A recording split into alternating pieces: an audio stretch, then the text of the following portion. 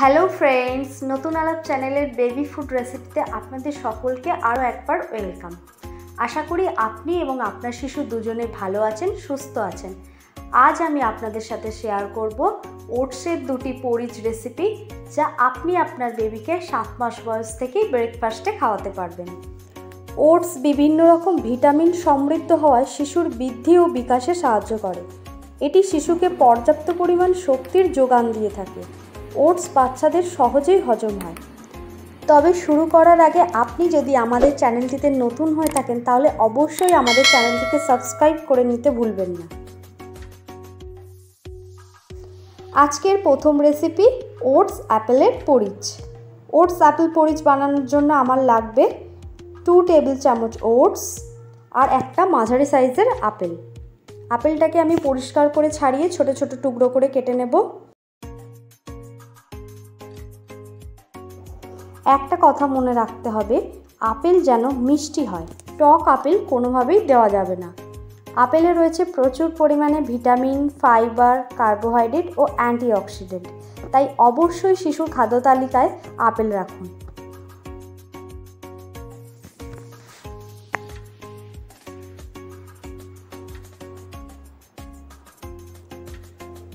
গ্যাসে কড়াই বসিয়ে এক কাপ জল দিয়ে দিলাম। এর মধ্যে কেটে রাখা আপেলের টুকরোগুলো দিয়ে মিডিয়াম ফ্লেমে সাত থেকে আট মিনিটের জন্য ঢেকে দেবো যাতে আপেলটা নরম হয়ে যায়। আট মিনিট পর ঢাকনা খুলে ওটসটা দিয়ে দিলাম। ওটসটা পাঁচ থেকে ছ মিনিট ভালো করে সেদ্ধ করে নিতে হবে।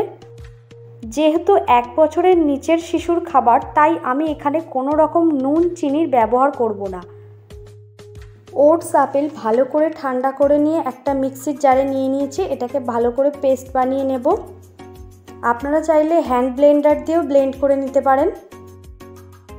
দেখুন, ওটস আপেল পরিচ রেডি হয়ে গেছে। এটিকে আরও হেলদি ও টেস্টি করতে এর মধ্যে দিয়ে দিচ্ছি ফর্মুলা মিল্ক।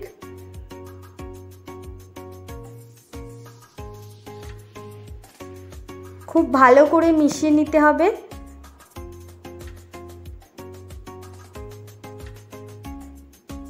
আপনি আপনার বেবির চাহিদা মতো এটি আপনার বেবিকে দিতে পারেন। দেখুন, আমার এই রকম টেক্সচার হয়েছে। আপনি চাইলে এর থেকে পাতলাও করতে পারেন। ওটস, অ্যাপেল পরিচ একদম বেবিকে দেওয়ার জন্য রেডি হয়ে গেছে। এবার বেবিদের জন্য সেকেন্ড রেসিপি হলো কলা ওটসের পরিচ। কলা ও ওটসের পরিচ বানানোর জন্য আমার লাগবে দু টেবিল চামচ ওটস ও একটি কাঁঠালি কলা। কলা আমি ছোট ছোট টুকরো করে কেটে নেব। কলার মধ্যে রয়েছে অনেক পুষ্টিগুণ। কলার মধ্যে রয়েছে vitamin A vitamin B vitamin C vitamin K iron, potassium, magnesium আরও অনেক পুষ্টিগুণ।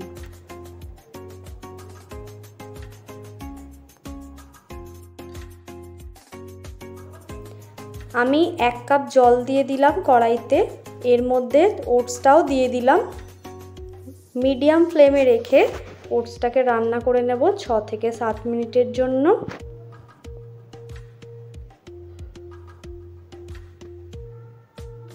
ওটসটা ঠান্ডা হয়ে গেলে একটা মিক্সির জারে ওটসটা দিয়ে এর মধ্যে কলার টুকরোগুলো দিয়ে দেব। দিয়ে ভালো করে ব্লেন্ড করে নেব।